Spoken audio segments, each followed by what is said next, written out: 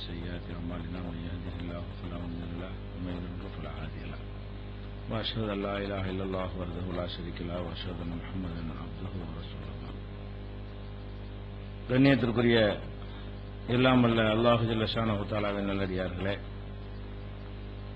மாறும் உலகில் மாறாத இஸ்லாம் என்ற இந்த தொடர் நிகழ்ச்சியின் மூலமாக இஸ்லாம் மார்க்கம் எல்லா காலத்திற்கும் ஈடு கொடுக்கக்கூடிய வகையில எல்லா பிரச்சனைகளுக்கும் தீர்வு சொல்லக்கூடிய வகையில எந்த காலத்திலும் மாற்றுவதற்கு அவசியமில்லாத வகையில வல்ல இறைவனால் நமக்கு வழங்கப்பட்டிருக்கிறது என்பதை பார்த்து வருகிறோம்.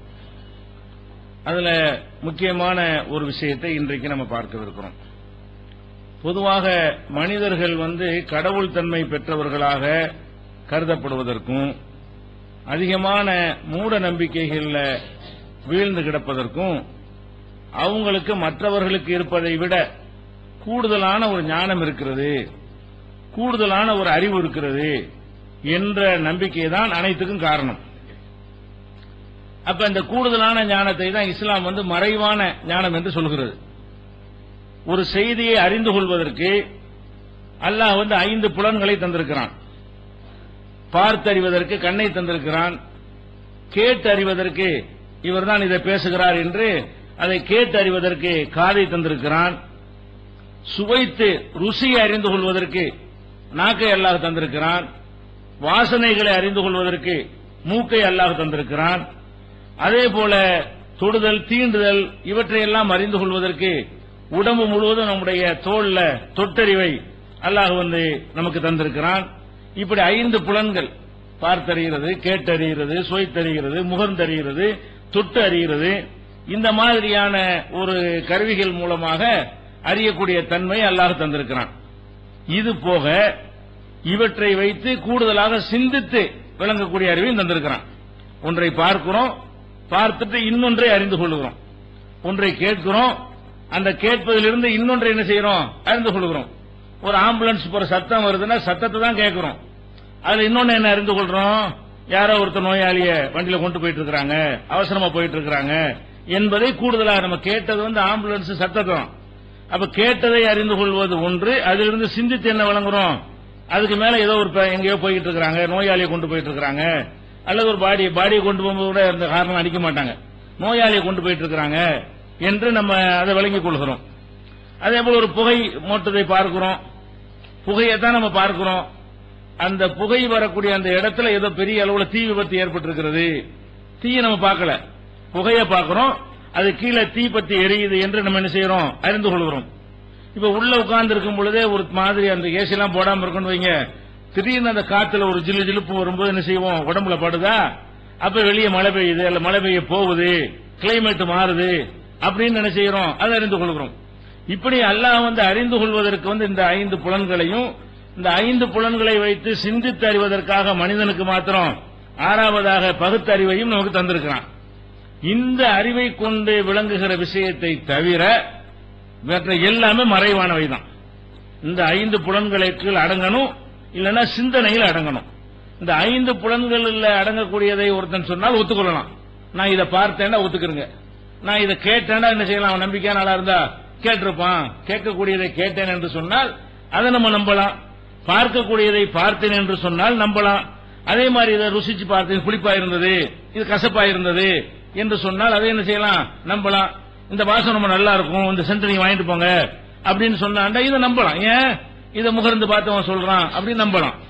அப்ப இந்த ஐந்து புலன்களுக்கு மேல வேற ஒன்னு புலன் இருக்கிற மாதிரியோ அல்லது இந்த ஐந்து புலன்களுக்கு எந்த அளவுக்கு அல்ல சக்தியை கொடுத்திருக்கிறானோ அதுக்கு மேல சக்தி இருக்கிற மாதிரியோ நினைக்கிறதுக்கு பேர் தான் மறைவான ஞானம். மறைவான ஞானம் என்றால் என்னன்னு கேட்டா கண்ணால பார்க்காம நான் கையால பார்த்தேன்னா பொய்ன்னு அர்த்தம். ஒரு என்ன சொல்றான்? இந்த கைனாலே நான் எல்லாத்தையும் பார்த்துருவாங்கிறான். கிறுக்கன்னு அர்த்தம். கைனால எப்படி பார்க்க முடியும்? கையின் கைக்கு வந்து பார்க்கக்கூடிய தன்மையை வந்து எல்லாம் தரவே இல்லை. அல்ல கண்ணால பார்க்கறான். கண்ணால பார்க்கறத பார்க்கறத ஒத்துக்கிறணும் பார்க்க இயலாத பார்த்தேன்னு சொன்னாடா கண்ணுல எது அடங்கும் காற்றை பார்த்தேன்டா என்ன செய்யணும்? எப்படிடா பார்க்க முடியும் காத்த? நான் கரண்ட பார்த்தேங்கிறான். கரண்ட் எப்படி பார்ப்பேன் பார்க்கக்கூடியதை தான் பார்க்க முடியுமே தவிர பார்க்க இயலாதை பார்த்து நடனம் நினைச்ச என்ன முடியாது ஒத்துக்கொள்ள முடியாது. அப்ப இந்த இதுக்கு மேல மறைவான செய்திகள் இருப்பதாக நம்புறதுக்கு பேர் தான் அந்த அதான் அடிப்படை. இத இருப்பதாக நம்ம நினைச்சோம்னு செய்யுங்களேன் நம்மளை ஏமாத்திட்டு போயிடுவாங்க ஒரு மனுஷனுக்கு இந்த கண்ணுல இருக்கிற சக்திக்கு மேல கூடுதலா இருக்குது காதல் இருக்கிற சக்திக்கு மேல கூடுதலா இருக்குது நாக்கில் இருக்கிற சக்திக்கு மேல கூடுதலா இருக்கு இப்படி நம்புறதுதான் தான் ஜோசியர்கள் குறிகாரர்கள் சாமியார்கள் குருமார்கள் மத குருமார்கள் இவங்க எல்லாம் உண்- உண்டாவதற்கு காரணமே என்ன? இவங்கள்ட்ட அது மாதிரி இருக்குது என்று நினைக்கிறது தான் எல்லாத்துக்குமே காரணம். அதனால நீங்க பார்க்கலாம் என்ன செய்யறாங்க உங்கள்ட்ட வந்து கேட்பாங்க. உங்க பிறந்த நேரம் என்ன? நம்ம நம்முடைய எதிர்காலத்தை பத்தி ஒருத்தர் போய் கேட்டோம்னு சொன்னா அவர் என்ன செய்வாரு? உங்க பிறந்த தேதி வச்சு கணக்குலாம் பார்த்து நீ பத்தாம் தேதி ஏழாம் பிறந்திருக்கேன் ஒரு கணக்கு போட்டு இந்த கணக்குல பிறந்த நீ இந்த மாதிரி இருப்ப அப்படிம்பாரு. இது கண்ணால பார்த்து தெரிகிற விஷயமா? இந்த தேதியில பிறந்தா இந்த மாதிரி இருப்பான் என்பதை கண்ணை கொண்டு அறிய முடியுமா? அறிய இயலாது. காதை கொண்டு அறிய இயலுமா? இந்த தேதியில பிறந்தா இப்படித்தான் இருப்ப சீனியை சாப்பிட்டா இனிக்கும் விளங்குறோம்ல. அது மாதிரி விளங்குற ஒரு விஷயமா இது? காதுனாலையும் விளங்க இயலாது. அதை ருசிச்சு பார்த்து நக்கி பார்த்துட்டு ஏன் பத்தாம் தேதி பிறந்த தான் இருப்ப? அப்படின்னு சொல்ல முடியுமா? பேப்பர் நக்கி பார்த்து அதுவும் சொல்ல முடியாது. அல்ல பேப்பர் மோந்து பார்த்துட்டு பத்தாம் தேதி பிறந்திருக்கிற? அப்படி அது விளங்க முடியுமா? பத்தாம் தேதி எட்டாம் தேதி பிறந்தா நீ இந்த மாதிரி ராஜாவா இருப்ப? நீ பணக்காரனா போயிருவ உனக்கு கல்யாணம் ஆகும் புள்ள மூத்தா போயிரும் சொல்றான்னு வைங்க. இத வந்து கண்ணால பார்த்து அறிஞ்சானா? இல்ல. இத காதல கேட்டு அறிஞ்சானா? இல்ல. நாக்கால சுவைத்து பார்த்து அறிகிற ஒரு விஷயமா? அதுவும் இல்ல. முகர்ந்து பார்த்து அறிகிற விஷயமா? அதுவும் இல்ல. தொட்டு பார்த்து தடை ஆமாங்க பத்தாம் தேதி அப்படிதாங்க வர ரிசல்ட் அதா அதுவும் இல்ல. அல்ல சிந்திச்சு பார்த்து லாஜிக்கா வாதங்களை வச்சு இதுல இருந்து இது தெரிகிறது. இந்த புகையிலிருந்து தீ தீ வர்றது தெரிகிறது. அப்படி வழங்குறமே அப்படியான ஒரு மேட்டரா இது? இது நம்ம தெரியுதா? ஒன்றை பார்த்து இன்னொன்று ஒண்ணுமே இல்ல. இப்ப அஞ்சு புலன்லையும் வராம ஆறுலையும் இல்லாம இது எப்படி அவன் சொன்னான்? இந்த தேதியில் நீங்க பிறந்தால் இப்படி இருப்பாய்ங்கிறதுக்கு என்ன எது- எது- என்ன ஆதாரம்? எதை வைத்து இதை அறிந்து கொண்டான்? இதுல ஏதாவது லாஜிக் அறிவு ஏதாவது இருக்கிறதா? அதே மாதிரி உடைய பேர் என்னன்னு கேட்பான். இன்ன பேருன்னு சொன்னீங்கன்னா என்ன செய்வான்? பேருக்கு வச்சிருக்கான். பேருக்கு அது நியூமரலஜி என்ன செய்யறான். பெயரியல்னு சொல்லி அதுக்கு ஒன்று வச்சிருக்கிறாங்க. என்ன பேரை கேட்டுப்பட்டு? உங்களை அப்துல் காதர்னு போட்டிருக்கிறீங்க. இந்த க- கூட்டுத்தொகை வந்து சரியா வரமாட்டேங்குது. காதரை வந்து கே டபுள் ஏ போடுங்க. நல்லா இருப்பீங்கிறான் கே ஏ ஒரிய போடுறீங்கல்ல. அந்த ஒரிய போட்டு ஒரு நம்பர் குறைஞ்சு போயிடுது. இன்னொரு ஏ போட்டு எழுதி இருந்தீங்கன்னா நீங்க ஆகான் இருப்பீங்க ஓகான் இருப்பீங்கிறான் சரி இது எப்படி கண்ணால பார்த்து அறிகிற விஷயம்? எதை வச்சு அறிஞ்சாவன் இந்த ஒரு ஏ கூட போட்டா இப்படி இருப்பியே என்பதற்கு காதல கேட்டு அறிகிற விஷயமா? கண்ணால பார்த்து அறிகிற விஷயமா? ஒரு ஏ போடும்போது அது பவர் கம்மியாகும் ரெண்டு ஏ போடும் பவர் கம்மியா தெரியுமா ஏதாவது? அப்ப இந்த ஐந்து புலன்களை நக்கியோ தொட்டோ முகர்ந்தோ தடவியோ பார்த்து பே- கேட்டு ஒண்ணுக்கு அறிய முடியாது. அல்ல சிந்தித்து பார்த்து இருந்தா இப்படித்தான் விளங்குறமே? நெருப்பு சூடும் விளங்குறோம் சிந்தித்து பார்த்து. அப்படி விளங்குற ஒரு விஷயமா இது? அப்படி விளங்குற விஷயமும் இல்ல. அப்ப இது எப்படி நம்ம நம்புறோம்? இவன் என்னமோ மறைவான ஒரு செய்தி இருக்கு இந்த இதுக்கு மிஞ்சின ஞானம் எனக்கு இருக்குது அதை வச்சு கண்டுபிடிக்கிறாங்க எதை சொல்றான் இவன்? இந்த டபுள் ஏ போட்டா இப்படி இருக்கும். அப்படிங்கறத இவனுக்கு எது பிற- நமக்கெல்லாம் இல்லாத ஒரு பிரத்யேகமான ஞானம் இருக்கிறது. அதை வைத்து அறிந்து கொண்டான். பேசிக் எங்க வருது? பிரத்யேகமான ஞானம். இதுதான் மனிதன் ஞானத்துக்குரிய வழி. அல்லா தந்திருக்கிறான். காது மூக்கு இதுதான் தந்திருக்கிறான். அறிவுன்னு தந்திருக்கிறான். அப்ப மூளையை தந்திருக்கிறான். இதுக்கு மேல ஒரு பவரை கொண்டு இருந்தா தான் இதெல்லாம் அறிய முடியும். அப்படி அப்படி பவர் இருக்கா? அந்த மாதிரி யாரும் பவர் உள்ளவனாக அல்ல மனுஷனை படைத்திருக்கிறானா? இதான் அடிப்படை. எல்லாத்திலையும் ராசி கல்லுங்கிறான் ஒரு கள்ளத்திக்கு மாட்டும் நல்லா இருப்பாங்க நம்ம நம்புறோம். நீங்க பச்சை மரகதம் போடுங்க. உங்க பேருக்கு வந்து வைரம் சரி வராது. நீங்க மரகதம் தான் உங்களுக்கு சரியா வரும். உங்க பேருக்கு வந்து என்ன செய்யக்கூடாது நீங்க? கோமேதகம் போடுங்க. மஞ்சள் கலர்ல போடுங்க. இல்ல பச்சை கலர்ல போடுங்க. வெள்ளியில போட்டு சரி, தங்கம் தான் உங்களுக்கு ஒத்துக்கும். சூட்டாகும் இரும்புல போடுங்கன்னு ஏதாவது சொல்லுவான். இவன் என்ன செய்வாங்க? அதை போட்டு தெரியுவாங்க என்னடா இதை போட்டா இப்படி வருங்கிறது எதை- எதை- எதை பற்றி எதை வைத்து அறிந்து கொண்டார்கள்? ஒரு குறிப்பிட்ட கல்ல மாட்டினா ஒருத்தர் செல்வந்தன் ஆவான் என்பதை பார்த்தா தெரியுமா? அல்ல இதை கேட்டா காதல வச்சு கேட்டா நீ பணக்காரனா போவோம்னு பேசுமா அது? கேட்டும் தெரியாது. நாக்கள் நக்கி பார்த்தா நான் பணக்காரனா போற மாதிரி டேஸ்ட் தெரியுது. அப்படி சொல்ல முடியுமா? எது- எதை வச்சு இதை கண்டுபிடிச்சான்? ஒரு கள்ளத்தீக்கு இப்படி மாற்றுறதுனால இப்படி போயிருவா அப்படி போயிருவாங்கிறான? இதை எப்படி அவன் அறிந்து கொண்டான்? மேற்றல் அங்கதான் நிக்குது. எங்க நிக்குது? ஒரு மனுஷன் கிருக்கம் வளர்றான் அவனுக்கு என்னமோ இருக்குன்னு நினைச்சு நம்ம நம்புறோம். அந்த கல்லுக்கு சக்தி இருக்கிற நம்ம நம்பவே இல்ல. ஒரு கிறுக்கனுக்கு சக்தி இருப்பா நம்புறோம். நம்பிக்கை எங்க வந்து முடியுது? அந்த பொருளுக்கு சக்தி இருப்பா நம்ப மாட்டேங்கிறான். இவன் சொல்றான்ல இவன் கரெக்டா சொல்லுவான். அந்த அடிப்படையில் தான் என்ன செய்யறது? அந்த நகை கடையில விளம்பரம் பண்றாங்க. எங்க கடையில உங்களுடைய ராசிக்கு தகுந்தவாறு கல்லை நாங்க தேர்ந்தெடுத்து தருவோம். மத்த கடையில கல் வாங்கினா நீங்க அந்த மாதிரி சொல்றதுக்கு ஆள் கிடையாது. எங்க கடையில அதுக்குன்னு ஆட்கள் வச்சிருக்கோம் நிபுணர்களை வச்சிருக்கிறோம். அவங்க பேரெல்லாம் கேட்டு உங்களுக்கு எந்த கல் போட்டா அது சரியா வரும்? அதெல்லாம் சொல்லி தருவாங்க. எந்த கல்லு போடணும் எந்த விரல்ல போடணும் எந்த மெட்டீரியல்ல கலந்து போடணும் எல்லாத்தையும் சொல்லி தர ஆள் வச்சிருக்கிறோம். எங்க கடையில வந்து கற்கள் எல்லாம் வாங்குங்க. என்று சொல்றதுக்கெல்லாம் எது நிச்சயம் கடைசியில? இந்த ஆறு அறிவுக்கு மேல ஒரு அடிப்படை இருப்பதாக நம்பினா மட்டும்தான் இதை நம்ப முடியும். ஆறு அறிவு தான் மனுஷனுக்கு இருக்குன்னா எதை வச்சுட இதை சொன்னேன்னு கேட்கணுமா இல்லையா? ஒரு நல்ல நாள் கெட்ட நாளுங்கிறான். கல்யாணம் பண்ணனு உடனே ஒரு பொண்ணு ஒரு நாள் குறிச்சு பார்த்து உங்களுக்கு வெள்ளிக்கிழமை வைங்கங்கிறான் சரி வெள்ளிக்கிழமை இவனுக்கு கல்யாணம் வச்சா நல்லா இருக்கும் எதை வச்சு கண்டுபிடிச்சான்? இவன் கல்யாணம் பண்ணி நாளைக்கு இப்படி நல்லபடியாக நல்லபடியா வாழ்வான் என்பதை இவன் அது கண்ணால பார்த்து கண்டுபிடிக்கிறதா? வெள்ளிக்கிழமை நான் அது கல்யாணம் நல்லா இருக்கும் ஏதாவது இருக்காதுல பார்த்து கேட்டு சுவைத்து தொட்டு முகர்ந்து சிந்தித்து பார்த்து வழங்குற ஏதாவது ஆறுல ஒண்ணு ஏதாவது இருக்குதா? ஒண்ணும் இல்ல இவன் ஓளறான் அவனுக்கு என்னமோ இவன் சொன்னா கரெக்டா இருக்கு நம்புற அவ்வளவுதான். இந்த மனிதன் வந்து எதிர்காலத்தை கரெக்டா அறிவான். இந்த இந்த வெள்ளிக்கிழமை கல்யாணம் நடந்தா நல்லா இருக்குங்கிற ஞானம் இவருக்கு இருக்குது அப்படிங்கிறான். அது எப்படி இருக்குங்கிறான் அந்த மாதிரியான ஞானம் மனுஷனுக்கு இருக்குமா? அப்படி எந்த ஒரு மனிதனுக்கா இறைவன் கொடுத்துருக்கான்னு பார்க்கணுமா இல்லையா? இந்த ஒரு விஷயத்துல செய்யற ஒரு அறியாமை தான் பெரிய பெரிய தலைவர்கள் எல்லாம் கூட இவங்க காலில் விழுந்து கிடக்கிற காட்சியை பாக்குறீங்க யார் காலில்? இந்த ஜோசியம் ஜாதகம் மந்திரிக்கிறவன் இவங்க காலில் எல்லாம் விழுந்து கிடக்கிற காட்சியெல்லாம் பார்க்கிறோம் அதே மாதிரி வந்துகிட்டு அருள் வாக்குன்னு சொல்றான். திடீர்னு பிராந்தி அடிச்சோன்னு ஒரு மாதிரியா போதை வருமா? அந்த நேரத்தில் அவர் சொல்லுவாரு. அப்ப சொல்லலாம் கரெக்டா இருக்கும். அருள் வாக்கு சொல்லிட்டாரு. அவன் தண்ணி அடிச்சு வளருவான். அவன் அவன் வந்து அருள் வாக்கு சொல்றாராம் மேலாடுறாருன்னு சொல்லிட்டு அருள் வாக்குன்னு சொல்றான் நம்புறான். அருள் வாக்குன்னா என்ன? அந்த ஆறுல எதுல அடங்குது? ஆறுல இருந்து ஏத்துக்கிறேன். ஐந்து புலனுக்கு எட்டியதா இருக்கணும் அல்லது சிந்தனைக்கு எட்டியதா இருக்கணும். சிந்திச்சு லாஜிக் ஏதாவது சொல்லு. விஞ்ஞானத்தை சோதிச்சு பார்த்து அந்த மரகத கல்ல கொண்டு டெஸ்ட் பண்ணி இதுல வந்து இந்த தன்மை இருக்குது. அப்படின்னு விஞ்ஞான ரீதியா ப்ரூஃப் ஒரு மாத்திரையில சாப்பிடுறோம். அதுல கண்ணுக்கு ஒண்ணும் தெரியல. வெள்ளையா வெள்ளையா ஒரு வில்ல பட்டன் மாதிரி இருக்கிறது. காதுக்கு ஒண்ணும் தெரியல. முகர்ந்து பார்த்தாலும் எல்லாம் ஒரே மாதிரி தான் தெரியுது. அதுல ஒண்ணும் தெரியலதான் ஆனா அறிவை கொண்டு சிந்திச்சு பார்த்து ஆராய்ச்சி பண்ணி பார்த்து என்னென்ன கலந்துருக்குது. அது என்னென்ன வேலை செய்யும்னு கண்டுபிடிச்சு சொல்றானா இல்லையா? அப்படியாவது ப்ரூஃப் இருக்கணும். அதுவும் அறிவு ஆறாவது விஷயத்தில் அடங்கிடும் ஒரு மாத்திரை வெள்ளையா இருக்குங்கிற மட்டும் நமக்கு தெரியும் எல்லா மாத்திரையும் ஒரே மாதிரி இருக்கும் பெரும்பாலும். ஆனா உள்ள அடங்கி இருக்கிற விஷயங்கள் வேறையா இருக்கும். அது என்னென்ன இருக்குது என்பதை அதற்குரிய சோதனை கூடத்தில் ஆய்வு கூடத்தில் கொண்டு போய் டெஸ்ட் பண்ணுனா அது கரெக்டான ரிசல்ட் காட்டும். இது இந்த வேலையை செய்யும். இந்த தலைவலிக்கு தான் காரணம். அந்த காரணத்தை இது வந்து அடிக்கும். என்றெல்லாம் கண்டுபிடிச்சு அதை செய்யறான்னு சொன்னா அதை ஏத்துக்கிற முடியுது. இது வந்து ஆறாவது பகுத்தறிவுல வந்து அடங்கக்கூடியதாக இருக்கிறது. அப்படி இவங்க ஏதாவது அப்படி இருக்குதா? இல்ல. அதே மாதிரி ஒரு வீடு கட்டுறோம்.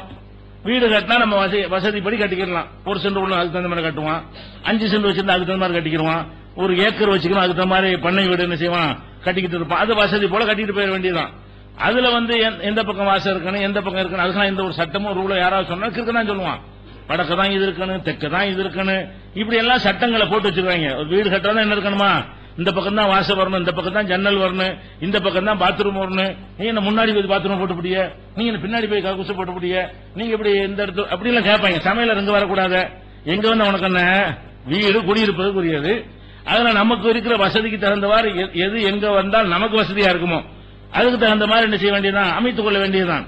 இதுக்கு வந்து வாஸ்துன்னு சொல்லி இதுக்கு ஒரு ரூலை எழுதி போட்டு என்ன செய்யறான்? கட்டி முடிச்சிருவாங்க. இன்ஜினியர் வந்து படிச்சுட்டு வர்றானா? அவனுக்கு வாஸ்து தெரியாது. இப்ப அதையும் சேர்த்து சொல்லி கொடுக்குறானு இன்ஜினியரிங் நாசமாக்குறான் உனக்குதா? முதல்ல படிச்சிருந்த இன்ஜினியருக்கு எல்லாம் தெரியாது. அவர் இன்ஜினியர் படிப்பதால இப்படி இருந்தா தான் இந்த கட்டடத்துக்கு இந்த பக்கம் தான் மேற்கு தான் காத்து நல்லா வரும். அல்ல வடக்கு தான் காத்து வரும். இந்த மாதிரி எல்லாம் அமைப்பு வச்சு இல்லாட்டி வெயில்லாம் மூஞ்சில் அடிக்கும். என்று சொல்லி ஒரு கட்டடத்தை கட்டி போடுவாரு. அப்புறம் வாஸ்துக்காரன் ஒருத்தர் வருவான். கெடுத்து புட்டியில வீடே சரியில்லையே. இதை இடிச்சு அங்க வைங்க அதை இடிச்சு இங்க வைங்க இதை இடிச்சு இங்க வைங்க இந்த கதவை எடுங்க ஜன்னலுங்க மூடுங்க அங்க ஜன்னல் வைங்கன்றான் இது என்ன இது அதான் லாஜிக்கா சொன்னா ஏத்துக்கலாம். இந்த இடத்துல இருந்தீங்கன்னா புகை வரும். பக்கத்து வீட்டு செவர் இருக்குது.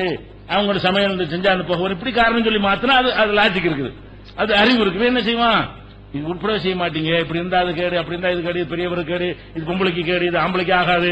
இது இப்படிலாம் ஒருத்தருக்கு ஆகாதான். இது ஒருத்தருக்கு ஆகாது அவர் அவருக்கு ஆகாதுன்னு சொல்லி இருக்கிறவட்டை இடிச்சு நாசமாக்கி விட்டு போயிடுறாங்க. இது ஏன் இப்படி நம்புறோம் நம்ம?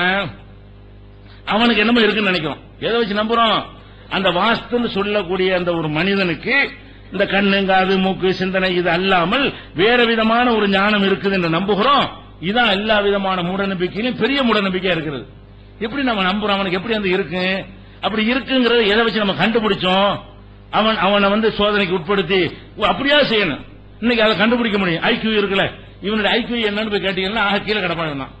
யாரு? ஐக்கியூ மூளையை டெஸ்ட் பண்ணி அந்த மூளையுடைய பவர் என்னன்னு என்ன செய்யறான்? ஒவ்வொரு மனுஷனுடைய ஐக்கியூ டெஸ்ட் பண்ணி கண்டுபிடிச்சு சொல்லக்கூடிய இல்மு நாலேஜ் இன்னைக்கு உலகத்தில் இருக்கிறது விஞ்ஞானிகள் கண்டுபிடிச்சிருக்கிறாங்க. அந்த மாதிரி இந்த ஜோசியம் பாக்குறவங்க எல்லாம் கூட்டிக் கொண்டு வச்சு ஐக்கியூல ஏதாவது தேர்வானா? இவருடைய மூலையில் எக்ஸ்ட்ரா ஏதாவது இருக்குது? அப்படியே ஒண்ணும் கிடையாது. சராசரி மனிதனுக்குள்ள அந்த அளவு தான் இவனுக்கு இருக்குமே தவிர அதுக்கு மேல ஒண்ணுமே இருக்காது. அப்ப இதை வச்சு நம்ம நம்புற காரணத்தினால தான் எல்லாமே பூனை குறுக்க போகுது. உருப்பட உருப்படாது யானை குறுக்க நல்லா வந்துச்சு. இதுல எப்படி அது நல்லா விளங்குறது? பூனை குறுக்க வர்றதுனால என் வாழ்க்கை நல்லா இருக்காதுன்னு எப்படி நமக்கு தெரியும்? இந்த மனுஷனுக்கு எப்படி தெரியும்? பூனை அது பாட்டு குறுக்க போகுது. அது எலியை பிடிக்கிறது கூட போகலாம். நாய் விரட்டுறதுக்காக கூட போகலாம். அல்லது ஏதாவது சாப்பாடை தேடிக்கிட்டு என்ன செய்யலாம்? அது போகலாம். விளையாடுறது கூட போகலாம். அது அதனுடைய தேவைக்கு அது போனால் அது ஏன் என்னைய பாதிக்குது? அப்படி நம்புறானா இல்லையா? இது குறுக்க வரக்கூடாது அது குறுக்க வர ஆஹா இந்த முகத்திலே முடிச்ச உருப்படாது. சில ஆளுக்களை வச்சிருக்கான் அப்படி.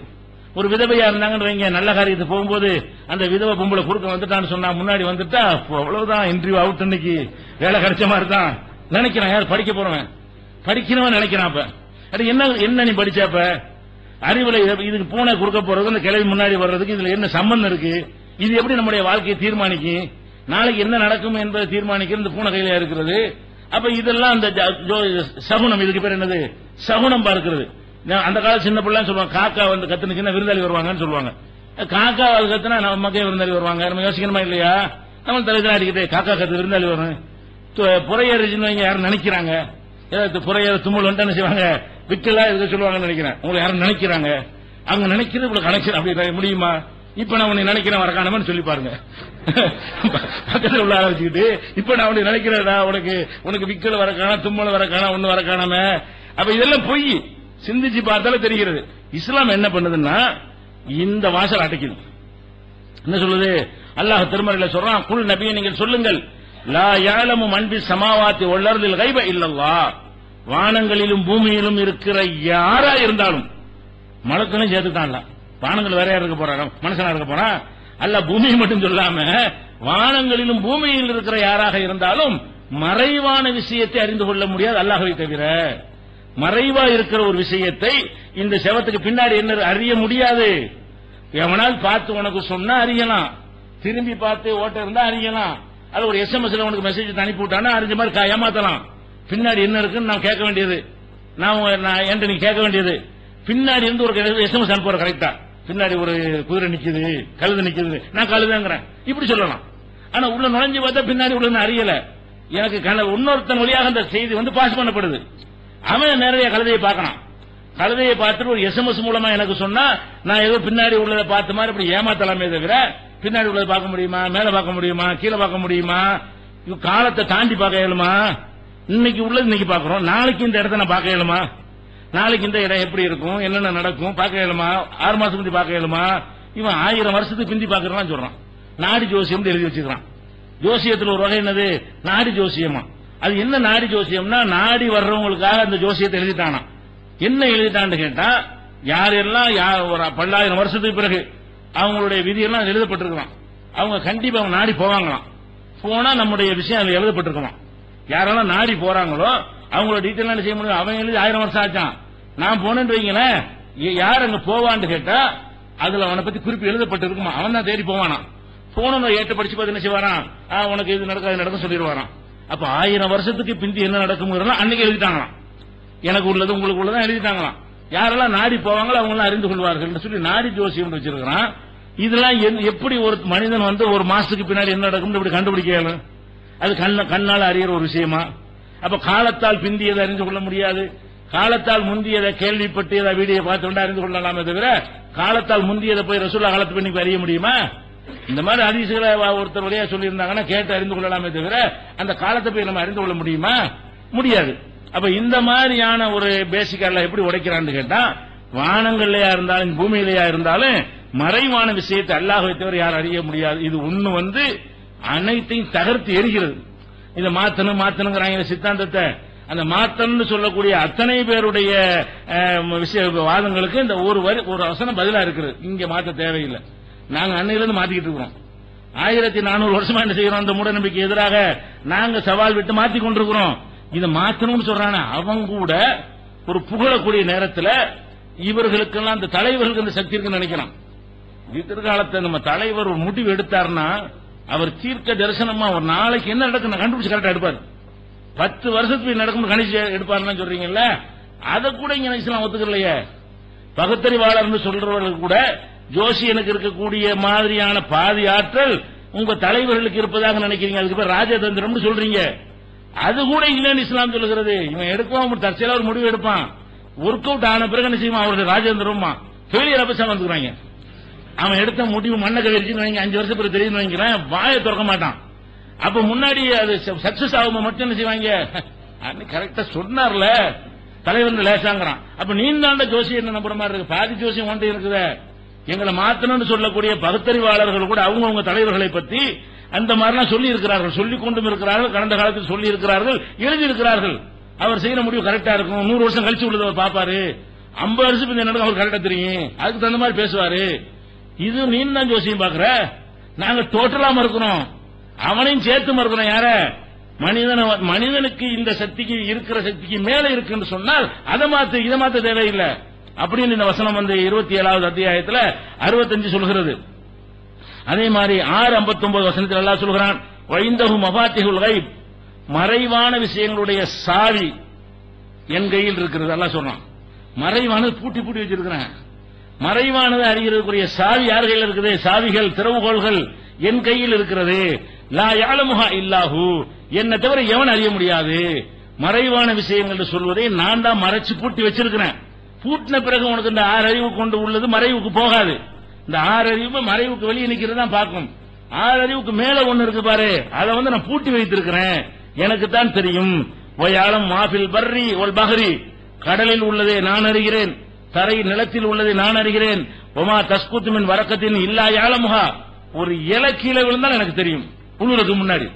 உழுத பிறகும் தெரியும். இலை உழுவுறதுக்கு முன்னாடி இது விழப்போன்னு தெரியும். விழுந்தவன விழுந்துருச்சு என்பது எனக்கு தெரியும். ஒல ஹப்பத்தின் ஃபீ உலுமாத்தில் அருளி பூமியுடைய அகல பாதாளத்திலே கிடக்கிற ஒரு விதை. அது எனக்கு தெரியும். இவ்வளவு பெரிய அண்ட சராசரத்தில் பூமிக்கு அடியில ஒரே ஒரு கடுகு விதை புதையுண்டு கிடைக்கிறது. இந்த இடத்துல இத்தனை அடிக்கு கீழே ஒரு கடுகு கிடக்குது என்பதை நான் அறிவேன். நல்லா சொல்றான். மறைவான விஷயத்தை அப்படி அறியக்கூடிய ஆற்றல் எனக்கு தான் இருக்கிறது. ஒலா ரத்தபின் ஒலா யாபிசின் இல்லாதி கிதாபின் வீண் ஒரு ஈரமானதோ காஞ்சதோ எதுவா இருந்தாலும் சரி எல்லாம் ஒரு பதிவேட்டில் ரெக்கார்டு பண்ணி வச்சிருக்கேன். முதல்லையும் தெரியும். தெரியுங்கிறது எழுதி வர வச்சிருக்கிறேன். அதன்படிதான் நடந்து கொண்டிருக்கிறது என்று அல்லாஹ் சொல்கிறான். அப்ப இந்த மறைவான விஷயங்கள் எல்லாம் எனக்குத்தான் தெரியும் என்று இறைவன் சொந்தம் கொண்டாடும் பொழுது இறைவனை தவிர யாருக்கும் தெரியாதுன்னு நம்ம நம்பும் பொழுது நம்மளை எவனை ஏமாற்ற முடியாது. அல்லாவுக்குத்தான் தெரியும் என்று நீங்க நம்புகின்ற காரணத்தினால் உங்களுக்கு கிடைக்கிற நன்மை என்ன? மனுஷன் தான் நம்மளை ஏமாத்துறான். இது மாதிரி எனக்கு தெரியும் ஒருத்தன் வந்தான்னு சொன்னா நம்ப முடியாது. போடா உனக்கு தெரியாது. அந்த அளவுக்கு நம்மளை இஸ்லாம் வந்து பாதுகாக்கிறது. நபிகள் நாயகம் ஸல்லல்லாஹு அலை செல்லம் அவங்க தான் ஒரு ஒரு ஆன்மீகத்தை கொண்டு ஒரு இறை நேசர் என்ற காரணத்தினால் கடவுளுக்கு நெருக்கமானவர் என்ற காரணத்தினால் அதிகமாக வணங்கினவர் காரணத்தினால் இந்த சக்தி அல்ல கொடுப்பான் என்று இருந்தால் யாரு கொடுத்திருக்கணும் நபிகள் நாயகத்தை கொடுத்திருக்கணும். அதை பத்தி என்ன சொல்றான்? அல்ல நபிகள் நாயகம் செல்லாலை செலுத்தும் சொல்ல சொல்றான் புல் நபியை நீங்க சொல்லுங்க. என்ன சொல்லுங்க? லா அகூலுக்கும் லக்கும் ஹசாயின் உள்ளா அல்லாஹ்வுடைய பொக்கிஷங்கள் என்னிடத்தில் இருக்கின்றன என்று நான் சொல்ல மாட்டேன். நான் உங்கள்ட்ட தூதரா வந்திருக்கிறேன். தூதரா வந்து நான் என்ன சொல்றேன்னு கேட்டா அல்லாஹ்ட்ட உள்ள கஜானாக்கள் இருக்கிற எல்லாம் செல்வத்தை கொடுக்கறது மலையை கொடுக்கறது புள்ள குட்டிகளை கொடுக்கிறது எல்லா விதமான கஜானாக்களும் என்னிடத்தில் உள்ளன என்று நான் சொல்லவில்லை. வல ஆலமுல் கைப் மறைவானது எனக்கு தெரியவும் செய்யாது என்று நபி நீங்கள் சொல்லுங்க. அல்லாஹ் சொல்றான். நபிகள் நாயகத்தை கூப்பிட்டு சொல்றான் இந்த மறைவானதை தெரிஞ்சு கொள்றான் மனுஷன் என்பதுதான் ஏமாத்துறதுக்கு முதல் காரணமாக இருக்கிறது. மனிதன் ஏமாறுவதற்கு அடிப்படையாக இருக்கிறது. மதத்தின் பெயரால் மனிதன் வந்து சுரண்டப்படுவதற்கு இது காரணமாக இருக்கிறது. அறிவை இழப்பதற்கு இது காரணமாக இருக்கிறதுனால நபிகள் நாயகத்தை போய் சொல்ல சொல்றான். நபியை நீங்க மக்கள்கிட்ட போய் என்ன சொல்லணும் தெரியுமா? எனக்கே மறைவான தெரியான்னு சொல்லி கொடுங்க. அப்படி சொல்லிட்டு நாளைக்கு ஒத்தனை எனக்கு தெரியும் சொல்ல முடியாது. அவங்களே சொல்லிட்டார்களே ஆனால் நான் சொல்ல இயலுமா? என்னை மாதிரி ஒரு மதகுரு சொல்ல இயலுமா? அல்ல என்னை விட பெரிய மதகுரு யாராவது சொல்ல முடியுமா? என்னை விட சிறிய மதகுரு யாராவது சொல்ல முடியுமா? யாரும் சொல்ல முடியாது ஏன்? மதகுருக்கெல்லாம் பெரிய மதகுரு யாரு? நபிகள் நாயகம் ஸல்லல்லாஹு அலைஹி அவங்கள எல்லாம் என்ன சொல்ல வச்சுறாங்கன்னா நான் ஆலமுல் கைப் மறைவானது எனக்கே தெரியாது. சொல்லிவிடுங்க அப்ப மக்கள் எப்படி விழிப்புறாங்க பாருங்க. முகமது நபிக்கு இது தெரியாது என்றால் இந்த சமுதாயத்தில் எவனுக்கும் தெரியாது. எது இது எவ்வளவு பெரிய பாதுகாப்பு? அவருக்கே தெரியாது. இந்த வேலையை வெட்டி முடிச்சிட்டோம் என்று சொன்னால் இந்த மதத்தில் வந்துகிட்டு என்ன- நான் ஜோசியம் பார்க்கறேன் ஜாதகம் பார்க்கறேன் அது பார்க்கறேன் இது பார்க்கறேன் ஏமாத்த ஏழுமா ஏமாத்துவதற்கான எல்லா வாசனம் அடைக்கப்பட்டுச்சா இல்லையா? அப்படி இந்த மார்க்கமா இது ஆறு ஐம்பதுல இந்த வசனம் இருக்கிறது. அதே மாதிரி இன்னொரு இடத்துல அல்ல என்ன சொல்றான்னு கேட்டா மறைவானது தெரியாதுன்னு மொட்டையா சொல்லாம மக்களுக்கு ஒரு லாஜிக்கா அல்ல விளக்க சொல்றான். மறைவானது எனக்கு தெரியாது என்பதை சும்மா சொல்லிடாத. தெரியாது என்பதற்கு ஆதாரத்தை காட்டி மக்களுக்கு சொல்லு. அப்படிங்கிறான்ல எப்படி சொல்றான்னு கேட்டா உளவு குந்து ஆலமுல் கை மறைவான விஷயம் எனக்கு தெரியும் என்று வைத்துக் கொண்டாள் நபியை சொல்ல சொல்றான்ல நபி அல்லா சொல்ல சொல்றான் மக்கள்கிட்ட போய் நீ சொல்லு எப்படி சொல்லணும்? இந்த மறைவான விஷயம் எனக்கு தெரியும் என்று வைத்துக் கொண்டால் லஸ்தக் சர்த்து மினல் ஹைரி. நல்ல விஷயங்களை நான் அதிகம் அதிகம் அடைந்து கொண்டே இருப்பேன். ஒமா மசனிய சூ. எனக்கு ஒரு துன்பமும் வராது. வந்திருக்காது. ஆனா நீங்க என்ன பாக்குறீங்க எனக்கு பெரிய நல்ல விஷயம்லாம் ஒண்ணுமே கிடையாது. பங்களா காரு பங்களா ஒன்னும் வசதி என்கிட்ட கிடையாது. துன்பங்கள் எனக்கு வரலன்னு சொல்ல முடியுமா? நான் பட்ட துன்பம் யாரும் படவே இல்லை. எனக்கு மறைவானது தெரிஞ்சிருக்கும்னா எல்லாம் நடந்திருக்குமா? ஒரு மறைவான விஷயம் ஒருத்தனுக்கு தெரியும் என்றால் அவனுக்கு தீங்க வராதுங்க. உங்களுக்கு என்ன? நான் நேற்று சொன்ன மரத்தடி ஜோசியர் மரத்தில் விழுந்துட்டாரு மறைவானது தெரிஞ்சா விழுந்துருப்பாரா? மரத்தில் உட்கார்ந்து இருக்காரு இத்தனை செகண்ட்ல இத்தனை மணிக்கு மரம் விழுந்துரும் தெரிஞ்சு அப்ப எந்திரிச்சு போயிடுவாரு. அப்ப தீங்கு வராது தானே? ஒருவருக்கு மறைவான செய்தி போய் ஒருத்தன் கொலை செய்யப்படுறான்னு வைங்க. அவனை ஏன் கொலை செய்ய முடிஞ்சு? மறைவானது தெரியணும் அது முதுகு குத்தி போடுறாங்க அப்ப என்ன கொலை செய்ய வர்றான் இத்தனை மணிக்கு கொலை செய்ய வர்றான்னு முன்னாடி தெரிஞ்சுன்னு வைங்க. அதுக்கு தகுந்த பாதுகாப்பு நான் வந்து நிப்பேன். நானும் வெப்பன்ஸ் வச்சுக்கிட்டு நிப்பேன். நானும் பாதுகாப்பா நிப்பேன். அது போகாமே தவிர்த்துக்கிறேன் இந்த இடத்துக்கு போனா கொள்றது ரெடியா இருக்கிறாங்க. அப்ப மறைவான விஷயம் தெரிஞ்சா என்ன நடக்கக்கூடாது? துன்பம் வரக்கூடாது. ஏன்டா என்ன எவ்வளவு போட்டு அடியன்னு அடிச்சீங்க? ரசூல்லா எல்லாம் கேட்க சொல்றான். என்ன எவ்வளவு துன்பு துன்புறுத்தீங்க கள்ள விட்டு இருந்தீங்களா இல்லையா? மறைவான தெரிஞ்சது அடியை வாங்கியிருப்பானா? அப்ப அது மாதிரி பல துன்பங்கள் என்னை ப- தோழர்கள் வெட்டினீங்களா இல்லையா? முன்னாடியே தெரிஞ்சு அப்படி செஞ்சிருப்பானா? இப்படி எல்லாம் கேட்க சொல்றான். அதாவது எனக்கு மறைவான விஷயம் தெரிஞ்சு இருந்தா நடக்கிறதுலாம் நல்லதா எனக்கு நடக்க வேண்டும். கெட்டது ஒண்ணுமே நடக்கக்கூடாது. ஏன் மறை கெட்டது நடக்குமோ முன்னாடி தெரிஞ்சா விளைவிக்கணும் அதுல இருந்து அப்ப அந்த மாதிரியான ஒரு அடிப்படையில வந்து அல்லாஹ் கேட்க சொல்லி இன்னான இல்லா நதீர். நான் எச்சரிக்கை சொல்றவன் தான். ஏங்களை என்னது? இதை செய்ய இதை செய்யாத. அவ்வளவுதான் நம்ம டியூட்டியை தவிர மறைவான விஷயத்தை அறிந்து கொண்டவனாக அல்லாவுடைய தன்மையை பெற்றவனாக நான் வரவில்லை என்று நபியை நீங்கள் சொல்லுங்கள் என்று அல்லாஹ் வந்து ஏழாவது அத்தியாயத்தில் நூத்தி எண்பத்தி எட்டாம் வசனத்தில் சொல்லுகிறான். இத அவங்க பயிற்றுவித்த தோழர்கள் அவங்கள்ட்ட பாடம் பெற்றவர்கள் அவங்க மனைவி ஆயிஷா நாயகி வந்து ரொம்ப ஷார்ப்பாக ரொம்ப விவரமான ஆளு. அவங்க ஒரு அழகான ஒரு செய்தியை சொல்றாங்க. என்ன சொல்றாங்கன்னு கேட்டா மண் ஹத்தசக்க அன்ன முகமதன் ஸல்லல்லாஹு செல்லம் மூணு விஷயம் சொல்றாங்க. உன்னிடத்தில் மூன்று விஷயத்தை எவனாவது சொல்வானே ஆனால் அவன் பொய் தான் சொல்கிறான். நம்பிராத. ஆயிஷா நாய் சொல்றாங்க. மூணு செய்தி நான் சொல்ல போறேன். இந்த மூணு விஷயத்தை யாராவது உனக்கு சொல்வார்களேயானால் அது பொய். அது உண்மை கிடையாது என்று விளங்கிக்க என்று சொல்லிட்டு முதல் விஷயமா அவங்க சொல்றாங்க. என்ன சொல்றாங்கன்னா அன்ன முகமதன் சல்லல்லாஹுலே செல்லம் வஸல்லம் ரப்பஹு. முகமது சல்லல்லாஹுலே செல்லம் நபி அவர்கள் இறைவனை கண்ணால் பார்த்தார்கள் என்று உனக்கு எவனாவது சொன்னால் பக்கது கதப பொய் சொல்கிறான் அல்லாட்டை உரையாடலை கேட்டார்களே தவிர அல்லாஹ்வை அவங்க என்ன செய்யல? பார்த்தது இல்லை நபிகள் நாயும் பார்த்தது இல்லை யாராவது பார்த்ததா உனக்கு சொன்னால் அவன் பொய் சொல்லுகிறான். ஆயிஷா நாய் சொல்றாங்க. சும்மா சொல்லல. சொல்லிட்டு ஆதாரத்தையும் சொல்லுவாங்க எப்பவுமே. சும்மா கர பிற ஓதி காட்டினார்கள் லா துதிரிக்குகுல் அபுசார் ஓஹோ எதிரிக்குள் அபுசார். பார்வைகள் அவனை அடையாது. இந்த கண்ணை கொண்டு அவனை பார்க்க இயலாதுன்னு நல்லா சொல்லலாம் எதிரிக்கும் அபுசார். பார்வைகள் அவனை அடையாது. அவன் உங்கள் பார்வைகள் அடைந்து கொண்டிருக்கிறான். என் கண்ணை அவன் பார்த்துட்டு தான் இருக்கிறான். என்னால் அவனை பார்க்க முடியல. என் கண்ணை நோக்கி அவன் பார்க்கறான். உங்க ஒவ்வொருத்தரைய கண்ணை நோக்கி அவன் பார்த்துட்டு இருக்கிறான். அவனை உங்கள் கண்ணால் என்ன செய்ய முடியாது? பார்க்க முடியாது. என்று அல்லாஹ் குரான்ல சொல்லி காட்டுறானா இல்லையா?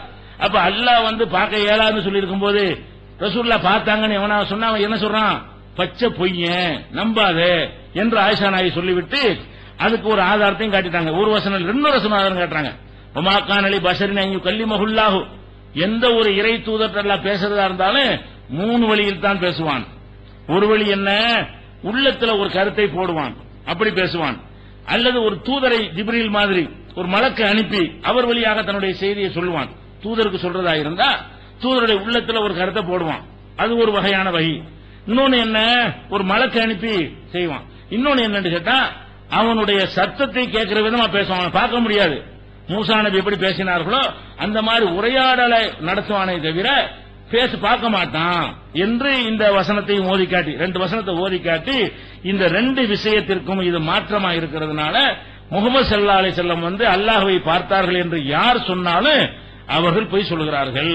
ரசூல்லாம் ஒருக்கா சொல்லிட்டாங்க.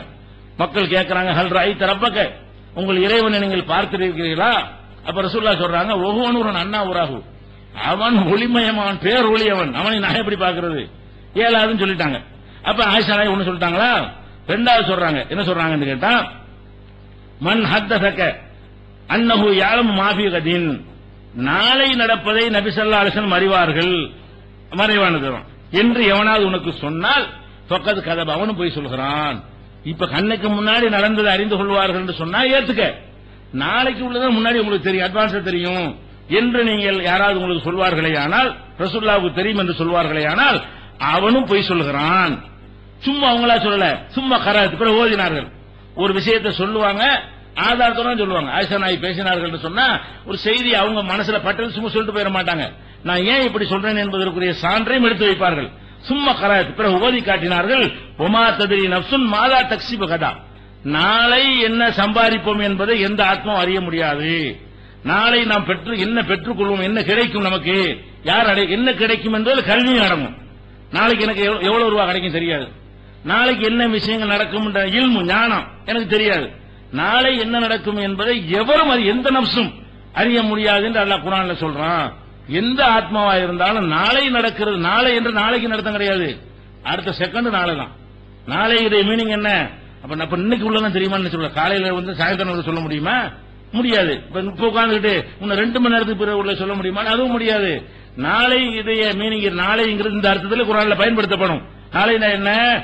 இப்ப இருக்கிற பேசிக்கொண்டிருக்கிற நேரத்துக்கு அடுத்து உள்ளது எல்லாமே நாளை தான் அப்ப நாளை நடப்பது என்றால் இதற்கு பிறகு நடக்கிற விஷயத்தை எந்த ஆத்மாவும் அறிய முடியாது என்று அல்லாஹ் குரான்ல சொல்றான்.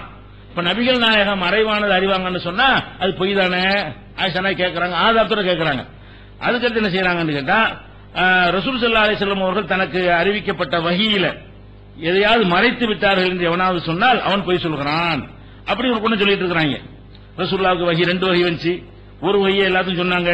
ஒரு வகையை மறைச்சு வச்சுக்கிட்டாங்க. முக்கியமான சில ஆள் கொடுக்க சொன்னாங்க. அதான் தரிக்கா முறியதுல போட்டு முறிது வாங்கினா தெரியும். மற்ற சாதாரண மக்களுக்கு சொல்லலங்கிறாங்கல்ல. அதுக்கு சொல்றாங்க. இவங்க எல்லாம் உருவாக வேண்டிய ஆயிஷா நாய் வழியா அல்ல சொல்ல வச்சிருக்கான் போல இருக்கு. ஆயிஷா நாய் சொல்றாங்க? மண் ஹத்தசக்கு அன்னகு கத்தம. நபிகள் நாயகம் ஸல்லல்லாஹு அலைஹி அவர்களுக்கு அருளப்பட்ட செய்தியில எதையாவது அவர்கள் மறைத்து விட்டார்கள் மக்களுக்கு சொல்லாமல் தனக்குள் வைத்துக் கொண்டார்கள் என்று ஒருவன் உன்னிடத்தில் சொன்னால் அவனும் போய் சொல்கிறான். ஏனென்று கேட்டால் அல்லாஹ் குரான் என்ன சொல்றான்? யா ஐயுஹர் ரசூல் முகமது நபியே பல்லிகுமா உன்சில இலை உனக்கு இறக்கப்பட்டதை அப்படியே எத்தி வைப்பீராக எடுத்து சொல்வீராக. இல்லம் தபால் ஹமா பல்லகத்த ரிசாலத்தகு இதனை நீ செய்யல அவனுடைய தூது செய்தியை நீ எத்தி வைத்தவர ஆக மாட்டாய். கடமை தவறியவர ஆவாய் என்று எச்சரிக்கிறான். அப்ப தூது செய்தியை சொல்லாமல் இருப்பது அந்த தூதுத்துவத்தில் கடமை தவறக்கூடிய ஒரு வேலை. இதை அவங்களா சில வகி வந்த விஷயத்தில் நமக்கு வச்சுக்கிருவோம். இது செஞ்ச ஆளுக்கு சொல்லுவோம். இது வேண்டப்பட்ட ஆளுக்கு கொடுப்போம் என்று நடந்தால் அது தப்பு.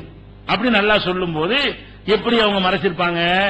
அதுக்கு பிறகு சொல்ல மக்களுக்கு என்ன ஆதன் துக்குமலா சவா. மக்களை சமமாக அனைவருக்கு அறிவித்து விட்டேன். சில பேர் என்ன செய்வாங்க? முக்கியமான தேர்ந்தெடுத்த சில விஷயங்களை சொல்லுவாங்க. இஸ்லாமுக்கு தேர்ந்தெடுத்த மக்களுக்கு உரியது இல்லை அனைவருக்கும் பொதுவானது. அனைவருக்கு சமமாக அறிவித்து விட்டேன் என்றும் சொன்னார்கள். இப்ப எதுக்கு இது சொல்ல வர்றோம்னா இது புகாரியில நாலாயிரத்தி எட்நூத்தி ஐம்பத்தி அஞ்சாவது ஹதீஸில் இருக்கிறது. அப்ப மறைவான ஒரு விஷயம் ரசூல் சல்லாசுக்கு தெரியாது என்று ஆயிஷா நாயகி சொல்றாங்கன்னா ரசூல் அப்படி ட்ரைனிங் கொடுத்திருக்காங்க ஒரு சமுதாயத்தை உருவாக்கி இருக்கிறாங்க. என்ன மாதிரி உருவாக்கி இருக்கிறாங்க? நபிகள் நாயகம் ஸல்லல்லாஹு அலைஹி செல்லம் அவர்கள் இந்த ஜோசியக்காரனுக்கு நீங்க கொடுக்குறீங்களே அந்த அளவுக்கு ஞானம் உள்ளவராக கூட எந்த மக்கள் நினைக்கவில்லை. நபிகள் நாயகம் ஸல்லல்லாஹு அலைஹி செல்லம் உருவாக்கப்பட்ட மக்கள் எதிர்காலத்தை எங்கள் நபி அறிய மாட்டார்கள் யாரும் அறிய மாட்டார்கள். அல்லாவை தவிர உத்தரவும் தெரியாது. என்று சொல்ற அளவுக்கு பயிற்றுவிக்கப்பட்டால் எதை மாத்தணுங்கிறீங்க? மாத்த வேண்டியது எதை? இந்த மாத்தணும்னு சொல்றாங்க அவங்களுடைய கோட்பாடையா? இஸ்லாத்தையா? அப்ப எந்த காலத்திலையும் வந்து என்ன ஒரு சித்தாந்த பகுத்தறிவாதனை பேசினாலும் சரி இதுக்கு மிஞ்சின ஒரு பகுத்தறிவு என்ன இருக்க முடியும்? அந்த மாதிரி இந்த மார்க்கம் சொல்றத பாக்குறோம் நபிகள் நாயகம் சல்லா அலைஹி வஸல்லம் அவர்கள் ஒரு திருமணத்துல போய் க- போறாங்க. அந்த திருமணம் திருமணம் எப்பவும் போக மாட்டாங்க. ரொம்ப நெருக்கமான ஒரு உதவி செய்ய வேண்டிய ஆளுக்கு அப்படி இருந்தா அப்ப கலந்து கொள்வார்கள். அப்ப இந்த திருமணத்துல போகும்போது என்ன செய்யறாங்கன்னு கேட்டா அந்த சிறுமிகள் வந்து பாடல் படிச்சிட்டு இருக்காங்க. சிறுமிகள் வந்து சில பாட்டு படிச்சிட்டு இருக்கிறாங்க. அந்த பாட்டு என்ன பாட்டுன்னா அவங்களுடைய குடும்ப பாட்டு. அவங்க நம்ம என்னென்ன தியாகம் செஞ்சாங்க போனாங்கன்னு அவங்க பாரம்பரியத்துக்கும் சில பாட்டு வச்சிருப்பாங்க. அந்த பாட்டை படிச்சிட்டு இருக்கிறாங்க. அப்ப என்ன செய்யறாங்கன்னா ரசூல் சல்லாசனம் வந்த உடனே அந்த சிறுமிகள் வந்து பாட்டு மாத்திட்டு புது பாட்டு பாடுறாங்க. என்ன பாட்டு படிக்கிறாங்க? ஃபீனா நபியும் ஏலமு மாபியகதின் இதோ ஒரு நபி வருகிறார். நாளைக்கு நடக்கக்கூடியதை இவர் தெரிவார். அவங்க படிச்ச வேற பாட்டு. ரசூல்லா கண்டவன பாட்டை மாத்துறாங்க. ரசூல்லா புகழ்றதுக்காக வேண்டி. என்ன மாத்துறாங்க? நாளைக்கு நடக்கிறதை அறியக்கூடிய ஒரு நபி இதோ நம்ம இடத்துல வந்து விட்டாருங்கிறாங்க. ரசூல் சலாசன் கேட்டவன் அப்படி ரசிச்சு தலையாட்டி ஆ, அப்படித்தான். இன்னொரு ஒன்ஸ் மோர். அப்படி சொன்னாங்க. இன்னொரு தடவை சொல்லுன்னு சொன்னாங்களா? இல்ல என்ன சொன்னாங்க? ஒரே லாத்த புலி ஹாக்கதான். இந்த மாதிரி சொல்லாத. நாளை நடப்பதை அறியக்கூடிய நபிங்கிறிய இந்த மாதிரி சொல்லாத ஓ கூலி பிள்ளத்தி தக்கூலின். முன்னாடி ஏதோ ஒரு பாட்டு படிச்சு அதை படிச்சுட்டு போ. என்னை வந்து நாளை நடப்பது அறியக்கூடிய அதை ஒழிக்க அதை ஒழிக்கிறதுக்கு நான் வந்திருக்கிறேன். அல்லாவை தவிர நாளை நடப்பது தெரியாது என்று சொல்ல வந்த என்னைய நீ அதுக்கு எதிரான கொள்கைக்கு நீ பயன்படுத்துறியா என்பதற்காக இவ்வளவு கடுமையா கண்டித்து இந்த சபையில வைத்து சிறுமிகள்னு பார்க்காம அந்த இடத்துல தவறு என்ன செய்யறாங்க சுட்டிக்காட்டி நாளை நடப்பது எனக்கு தெரியாது. இன்னொரு இடத்துல இப்னு மாஜாவில் இது புகாரில் வந்து நாலாயிரத்தி ஒன்னாவது அதிசயில் வருகிறது. இப்னு மாஜாவில் வர அறிவிப்புல ஏனென்றால் நாளை நடப்பது அல்லாவை தவிர யாருக்கும் தெரியாது என்று சேர்த்து சொல்றாங்க.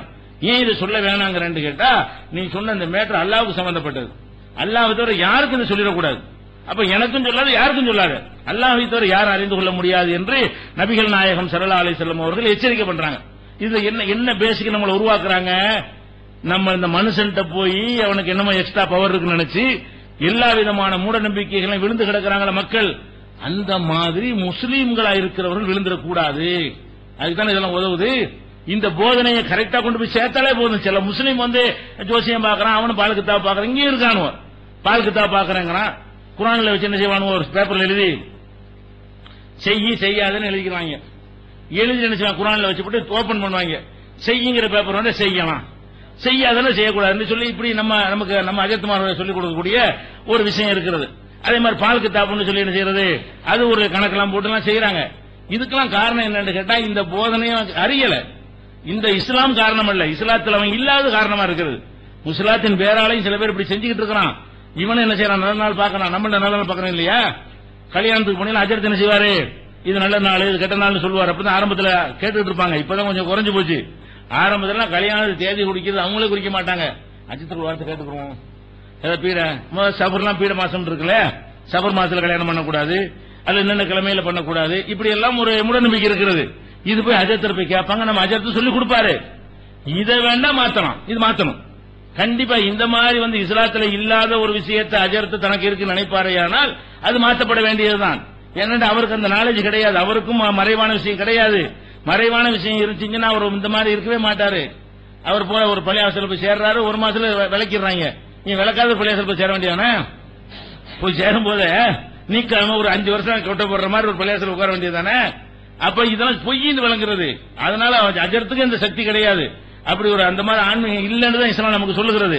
அப்ப இது வந்து இஸ்லாம் எப்படி உடைக்குதுன்னு கேட்டா அல்லாவை தவிர இந்த மறைவான விஷயம் தெரியாது மட்டும் நம்ம கரெக்டா வேற ஒண்ணு வேணாம்.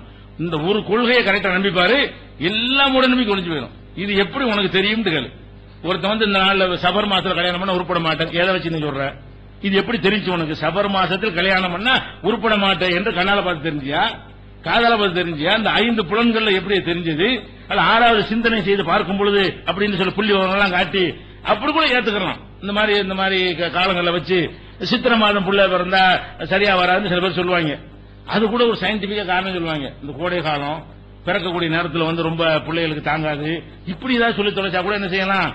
அது ஒரு ஒரு காரணம் இருக்குன்னு ஒத்துக்கலாம் இவன் என்ன செய்யறான்னு கேட்டா அப்படியான ஒரு காரணம் கூட இல்லாம ஜென்ரலா என்ன சொல்றான்? இது- இதனால இப்படி இருக்கும். இப்படி செய்ய அப்படி இருக்கும். அப்படி செய்ய அப்படி இருக்கும். இந்த மாதிரி எல்லாம் சொல்லக்கூடியதை வந்து நம்புற காரணம் இதுதான். அந்த பேசிக் இதெல்லாம் உடைக்கிறது. எந்த அளவுக்குன்னு கேட்டா நபிகள் நாயகம் செல்லாசவங்க காலத்துல அவங்கள ரொம்ப பாதிச்ச ஒரு விஷயம். அவங்க உடைஞ்சு போன அவங்க அப்படியே நிலை குலைந்து போன ஒரு சம்பவம் எடுத்துக்கொண்டோமேனால் அவங்க மனைவியின் மீது ஒரு பழி சுமத்திட்டாங்க. ஆயிஷா நாயகியின் மீது ஒரு அவதூறு பழி என்ன செஞ்சிட்டாங்க? முனாஃபிகள் பரப்பி விட்டாங்க. அவதூறு பழிக்கு என்ன மேட்டரா இருந்தது? ரசூல் சல்லா அலி செல்லம் தெரிஞ்ச சம்பவம் தான் சுருக்கமா. ரசூல் சல்லா செல்லம் வஸல்லம் போர்க்களத்துக்கு போயிட்டு வரும்பொழுது அவங்க ம, இடத்துல இறைப்பாடுறாங்க இரவுல தங்குறாங்க. தங்கிட்டு என்ன செய்யறாங்கன்னா ஆயிஷா நாயகி வந்து தங்குனா ஒட்டகத்தில் ஒரு பெட்டி மாதிரி வச்சிருப்பாங்க. பாக்ஸ் மாதிரி. அந்த பாக்ஸ் எல்லாம் பெண்கள் உட்கார்ந்துருப்பாங்க வெயில் படாம. அந்த ஒட்டகத்தில் ஒட்டக தொட்டிமாங்க ஒட்டக கூடாரம்னு சொல்லுவாங்க. அதுல உட்கார்ந்து தான் பிரயாணம் பண்ணி போவாங்க. அப்படி அது பல்லக்கு மாதிரி இறக்கி வச்சிருவாங்க. அப்படி தூக்கி மேல வச்சு கொண்டு போயிருவாங்க. அது பெண்களுக்கு வசதியா இருக்குங்கிறதுக்காக வேண்டி அந்த மாதிரி ஏற்பாடு செய்வாங்க. ஆயிஷானா என்ன செய்யறாங்கன்னா அவங்க அந்த அதுல இருந்து இறங்கி அவங்க இயற்கை தேவைக்காக வெளியே போயிருக்கும் பொழுது புறப்புற புறப்படும்போது வெறும் பெட்டி வச்சுட்டு வந்துட்டாங்க. ஆயிஷா நாய் திரும்பி வந்து பார்த்தா காணாம் சுருக்கமா சொல்றேன். பெரிய சம்பவம் அது. ஆயிஷா நாய் திரும்பி வந்து பாக்குறாங்க எல்லாரும் போய் சேர்ந்துட்டாங்க. ஆனா ஆயிஷா நாய் வந்து அந்த- பெட்டியில் இருக்காங்க என்று நினைத்துக் கொண்டார்கள். ஒட்டகத்தில் இருக்கிறாங்க அப்ப ஆயிஷா நாய் இப்படி தகைத்து நிற்கும் பொழுது என்ன செய்யறாங்க ரசூல் சல்லாசனம் எப்போதும் ஒரு வழக்கம் இருக்கிறது. ஒரு பிரயாணம் போனார்களே ஆனால் ஒரு ஒரு சகோ ஒரு தோழரை ரெண்டு தோழர்களை என்ன செய்வாங்கன்னா கொஞ்சம் பின்னாடி வர சொல்லுவாங்க எங்களோட ஒட்டி வந்துடாத எங்களுக்கு ஒரு அரை நாள் பின்னாடி ஒரு நாலு மணி நேரம் பின்னாடி வந்துகிட்டு இருக்கீங்க எதிரி ஏதாவது வந்துட்டானா? அப்படி கவனிச்சுட்டு வர்றதுக்காக விட்டுட்டு போன பொருள்கள் ஏதாவது இருந்தா பொறுக்கிறதுக்காக என்ன செய்வாங்க? பின்னாடி வருவதற்கு ஏற்பாடு பண்ணாங்க மொத்தமா எல்லாம் சேர்ந்து போயிடாம இவங்க பொறுப்பு போயிட்டே இருப்பாங்க. ஒரு ஆள் என்ன செய்வாரு? அவங்க நாலு மணி நேரம் போய் போன பிறகு இவங்க இருந்து கிளம்புவாரு. உதாரணத்துக்கு. அப்படி கிளம்புனா என்ன செய்யும்? அவங்களுக்கு இவங்களுக்கு ஒரு நாலு மணி நேரம் டிஃபரெண்ட் இருந்துகிட்டே இருக்கும். இவர் என்ன செய்வார்னா பின்னாடி பாத்துக்கிட்டு ஏதாவது எதிரி வந்தாருன்னா வேகமா ஓடி வந்து சொல்றதுக்காக வேண்டியும் மக்களை காப்பாத்துறதுக்காக வேண்டியும் பொருள்களை அதுக்காண்டி செய்வாங்க. அப்ப அந்த மாதிரி சஃபான் ஒருத்தர் அது மாதிரி வழக்கமா இருக்கும்போது சஃபான்ங்கிறவர் மாதிரி நியமிக்கிறாங்க. அவர் வர்றாரு பின்னாடி வர்றாரு லேட்டர் தானே வருவாரு. நாலு மணி நேரம் அஞ்சு மணி நேரம் எவ்வளவு நேரங்கிறது இல்ல. அந்த மாதிரி டிஸ்டன்ஸ்ல வர்றாரு. வந்து ஆயிஷா நிக்கிறாங்க. திகிச்சு போய் இந்த இடத்துல என்னன்னு கேட்டா விட்டுட்டு போயிட்டாங்க. அப்படின்னு சொல்லி என்ன செய்யறாரு அவர் அழைச்சிட்டு வர்றாரு. வந்து அடுத்த அடுத்த ஸ்டாப்ல போய் நிக்கும் பொழுது ஆயிஷா நாயை காணாங்க பரபரப்பா இருக்குது. இவரும் கூட்டி கொண்டு என்ன செய்யறாங்க விட்டுறாரு. இது இந்த மாதிரி ஒரு நெருக்கடியான நேரத்தில் எல்லாரும் செய்யக்கூடிய ஒரு விஷயம். இதுல எந்த ஒரு மேட்டருமே இல்லை. ஆனா இதை வச்சு என்ன செஞ்சிட்டாங்கன்னா ஆயிஷா நாயகன் மீது பழங்க கலங்கத்தை முனாபிக்கள் சுமத்தி விட்டார்கள். ஏதோ ஒரு- இது ஏதோ நடந்து விட்டது தவறான காரியம் நடந்திருக்கிறது. இப்படி பரப்பி விட்ட உடனே அப்படியே முனாபிக்குகள் பரப்புனது முனாபிக்கிட்ட கடந்து சஹாபாக்கள்கிட்ட எல்லாம் பெரிய அளவுக்கு பரவி போச்சு. எல்லார் மனசுல இது மாதிரியான ஒரு சந்தேகம் உண்டாக்குற அளவுக்கு இந்த மாதிரி விஷயங்கள் பரப்ப முடியும். மற்ற விஷயங்களை விட இந்த மாதிரி விஷயம் என்ன செய்யும்? வேகமாக விரைவாக பரவிவிடும். அப்படி பரவுன உடனே ரசூல் சொல்லா அப்படி ஒன்னும் சொல்ல பதிலும் சொல்ல முடியல. இது நடந்து என்ன செய்யலன்னு சொல்லி அப்படி சொல்ல சொல்ல சொல்ல என்ன ஆகுதுன்னு கேட்டா திரும்பி திரும்பி சொல்லும் மனுஷன் சந்தேகம் உண்டாயிரும். ரசூல்லாவுக்கு சந்தேகம் வர்ற அளவுக்கு. இது என்ன அளவுக்கு வந்துருச்சுன்னு சொன்னா ரசூல் சல்லா அலி செல்லம் அவர்களுக்கு சந்தேகம் வர்ற அளவுக்கு அந்த வதந்திகள் பரவிக்கிட்டே இருக்கிறது. எந்த அளவுக்கு ஆயிஷா நாய் சொல்றாங்க. இந்த மாதிரி வதந்தியை பரப்பி விட்ட பிறகு ரசூல் சல்லா அலிஸ்லாம் என்கிட்ட முகம் கொடுத்து பேசுறது கிடையாது. வருவாங்க. அந்த நல்லா இருக்கீங்களா? ஆ, சரி இந்த வர்றான்னு போயிருவாங்க அவ்வளவுதான். இப்படி ரெண்டு வார்த்தை தான் பேசுவார்கள். முந்தி இருந்த அந்த அன்பையும் இதை என்னால பார்க்கவே முடியல. அப்படின்னு ஆயிஷா நாய் சொல்றாங்க.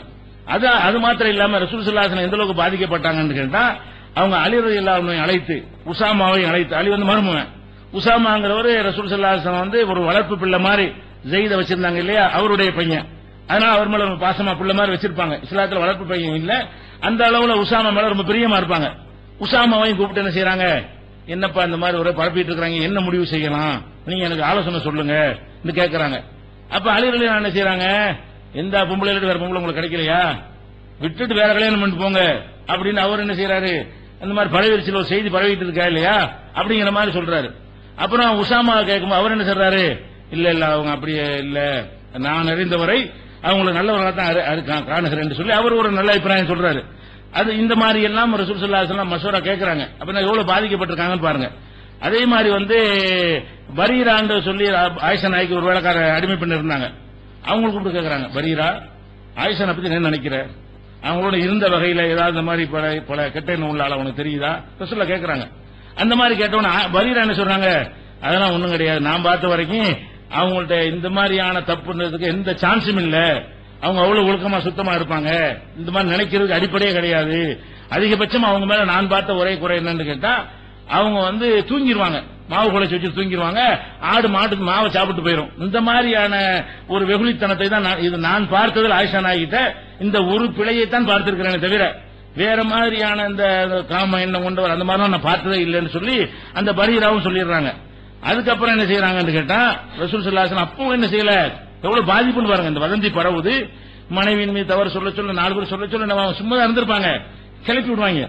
சும்மா இருக்கிற ஆளுக்கு என்ன செய்வாங்க? அப்படி தூண்டி விட தூண்டி விட தூண்டி விட என்னவாக? இருந்தாலும் இருக்குமோ? அந்த ஆட்டக்கலை ஆக்கின மாதிரி தான் இருந்தாலும் இருக்குமோ? இருந்தாலும் இருக்குமோ? இருந்தாலும் இருக்குமோ பிஏ ஃபீலிங் வந்துட்டு ரசூல்லாக்கு எந்த அளவுக்கு ஆயிடுச்சுன்னு சொன்னா ஆயிஷா நாயிட்டு ஒரு நாள் வர்றாங்க. ஆயிஷாவே இந்த மாதிரி பல மாதிரி பேசிக்கிறாங்க. பலகனி அன்னைக்கு கதாவ கதா. இன்னென்ன மாதிரியான பேச்சுகள் எல்லாம் நடந்து கொண்டிருக்கிறது.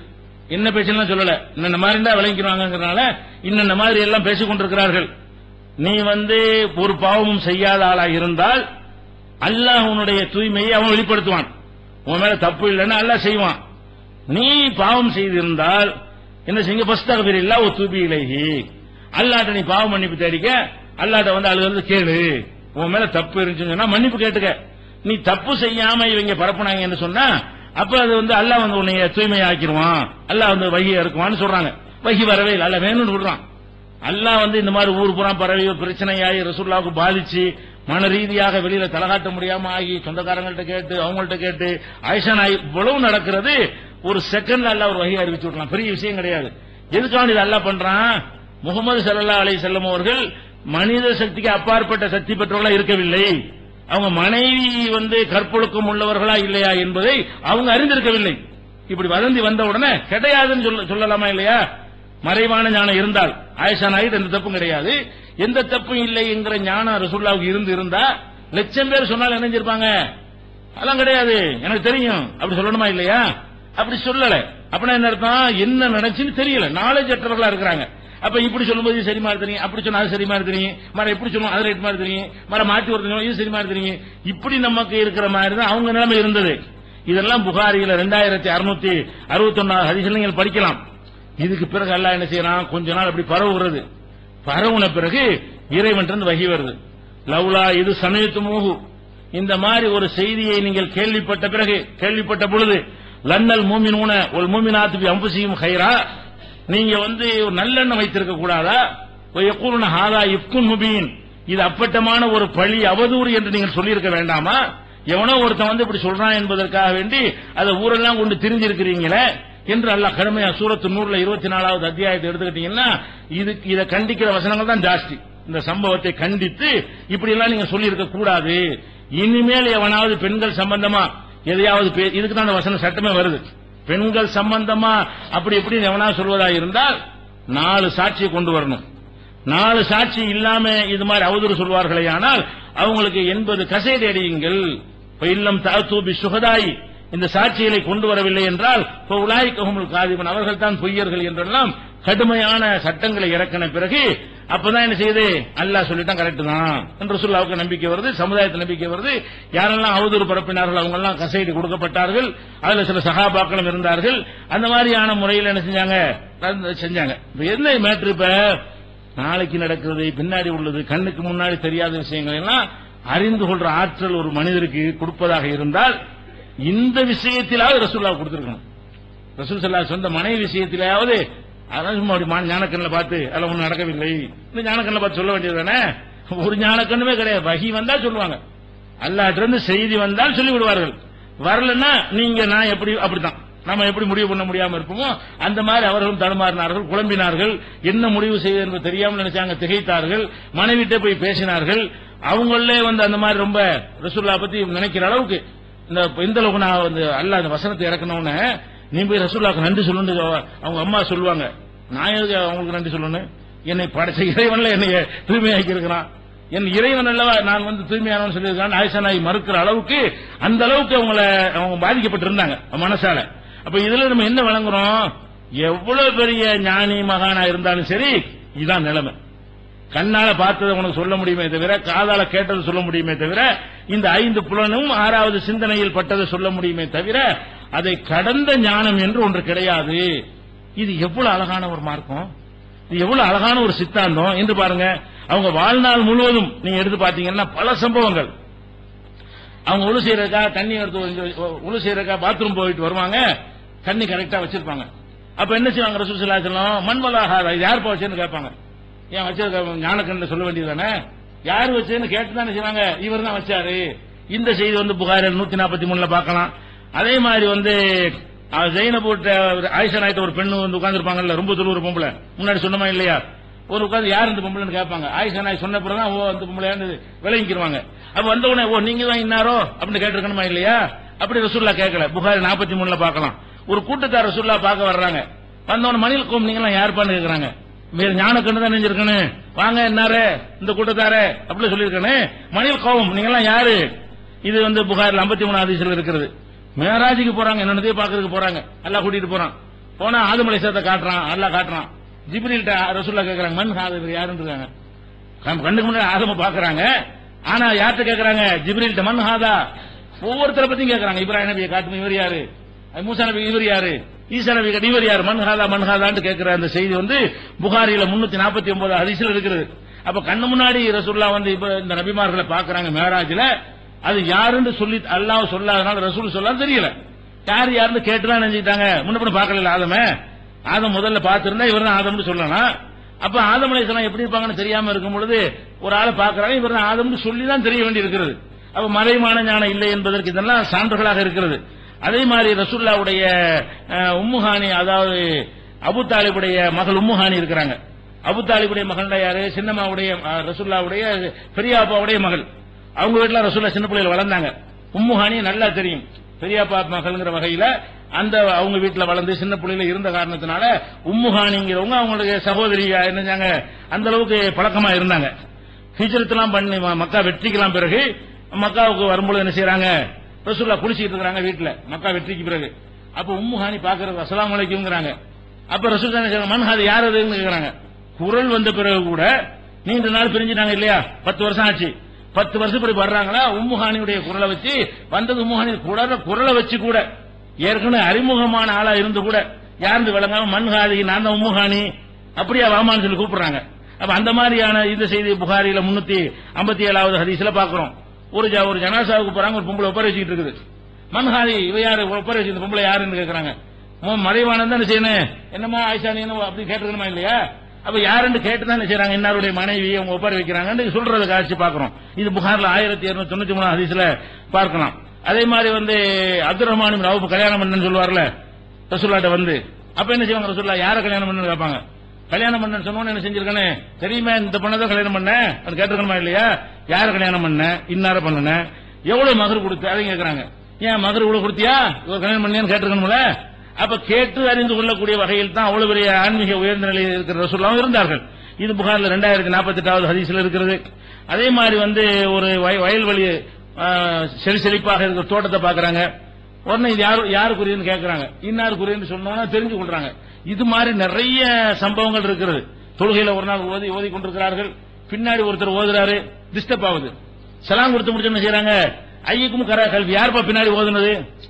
அவங்க தொழுகையில் நிக்கிறாங்க பின்னாடி ஒரு சத்தம் கேட்குது ஒரு ஆள் ஓதுறான்னு தெரியுது ஆள் யாருன்னு தெரியல சலாம் கொடுத்து முடிச்சு என்ன செய்யறாங்க? ஐயக்கும் கரா கல்வி எனக்கு பின்னாடி ஓதுன ஆள் யாரு?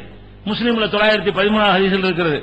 ஒரு ஆள் ரசூல்லா வந்து ருக்குல இருந்து எந்திரிச்ச உடனே ரப்பனா அலக்கல் ஹம்த ஹம்தன் கசீரன் தையீபன் முபாரக்கன் ஒருத்தர் கத்துறாரு. சத்தம் போட்டு. அப்ப ரசூல் சல்லாசனம் தொழுது முடிச்சோடனே இந்த கைமாவை சொன்ன ஆள் யாரு? அப்படின்னு கேட்கறாங்க இது முஸ்லீம்ல ஆயிரத்தி முன்னூத்தி எண்பத்தஞ்சு ஹதீஸ்ல இருக்கிறது. வீட்டுக்கு ரசூல்லா போவாங்க. ஏதாவது தொழுது சுப்பு தொழுது போவாங்க. வீட்டுல ஏதாவது சாப்பிட இருக்கா? அப்படின்னு கேட்பாங்க. இருக்குன்னா சாப்பிடுவாங்க. இல்ல நோம்பா இருந்துருக்கான்ட்டுவாங்க ஏன் கேட்கணும்? மறைவான ஞானத்துல இருக்கிறது கொண்ட வையுங்க வேண்டியதானே வீட்டுக்கு போய் அந்த ரொட்டியை கொண்டு வா. அந்த தேனை கொண்டு வான்னு சொல்ல வேண்டியதானே வீட்டுல போய் என்ன செய்யறாங்க ஏதாவது தன் வீட்டுல இருக்கிறத கூட மனைவிட்ட கேட்டுதான் தெரியுறாங்க. அடுப்பங்கரைக்கு போவாதனால தெரியல. தன் வீட்டில் தான் இருக்குது. அது கிச்சனுக்கு போய் பார்க்காதனால என்ன செய்யறாங்க இன்னும் ஏதாச்சும் ஹல் இந்தக்கும் செய்யும். ஏதாவது இருக்குதா? இருக்குது. இல்ல. அதை வச்சுதான் முடிவு எடுப்பாங்க என்ற ஒரு செய்தி என்ன செய்யறோம் புகாரில் ஆயிரத்தி நானூத்தி தொண்ணூத்தி நாலு ஹதீஸ்ல பாக்குறோம் இப்படி ஏராளமான ஒரு ஜனாசா கொண்டு வருவாங்க. கேட்பாங்க ரசூல்லா இவரு இவருக்கு சொத்து வித்து விட்டுருக்காரா? ஆமாண்ட கடன் விட்டுருக்காரா? ஆமா. அப்ப கடன் தீக்கிற வரைக்கும் நான் தொழுவிக்க மாட்டேன்பாங்க. அப்ப வந்து வச்சவன நினைச்சிருக்கேன்னு இவருக்கு சொத்தும் இல்ல கடன் வாங்கி இருக்கிறாரு நான் தொழுவிக்க மாட்டேன்னு சொல்ல வேண்டிய மக்கள்கிட்ட கேட்கறாங்க அல் தரக்க தைனன். ஹல் திறக்க மாலன் சொத்தை விட்டு போயிருக்காரா கடன் வச்சுட்டு போயிருக்காரான்னு கேட்டு அறிந்து கொள்கிறார்கள். இப்படி ஆயிரக்கணக்கான ஹதிசு ஒன்று ரெண்டு அல்ல. இப்படி ஆயிரக்கணக்கான ஹதீசுகள் என்ன வருதுன்னு கேட்டா நபிகள் ஆன்மீகத்தின் உச்சநிலையை அடைந்த நபிகள் நாயகம் சல்லாசலம் அவர்களே ஐந்து புலன்களை கொண்டு அறியக்கூடியதையும் பகுத்தறிவை கொண்டு அறியக்கூடியதையும் தான் அறிந்திருந்தார்கள். அல்லாஹ் வகையின் மீது அறிவித்து கொடுத்த சில விஷயங்களை கூட அறிந்திருந்தார்கள். அல்லாம வரி வகி அது மட்டும் சிறப்பு. அது என்னென்னங்கிறது சொல்லப்பட்டு விட்டது. வகையின் மூலம் அறிவித்ததான் குரான். வகையின் மூலம் சொன்னதான் ஹதீஸ் நூல்களில் பாதுகாக்கப்பட்டிருக்கு. அவ்வளவுதான். அப்ப அவர்களுக்கு வகையின் மூலமாக அல்ல அறிவித்து கொடுத்த செய்திகளும் அந்த ஆறு அறிவுக்கு உட்பட்ட விஷயங்களும் தவிர வேற ஒன்றும் இல்லைன்னு காட்டிட்டாங்க. மற்றவங்களுக்கு வகி கிடையாது. அப்ப ஆறு தான் நமக்கெல்லாம். ரசுல்லாவை தவிர கேம நாள் வரைக்கும் உள்ள மனிதனுக்குள்ள எவ்வளவுதான்? அந்த ஆறு தான். அப்ப எவன் சொன்னாலும் இந்த ஆறுக்குள்ள இருந்தா நம்புன்னு சொன்னா இது எவ்வளவு அழகான தத்துவம்? இதை வந்து மாற்றணும்னு எவனா சொல்ல முடியுமா?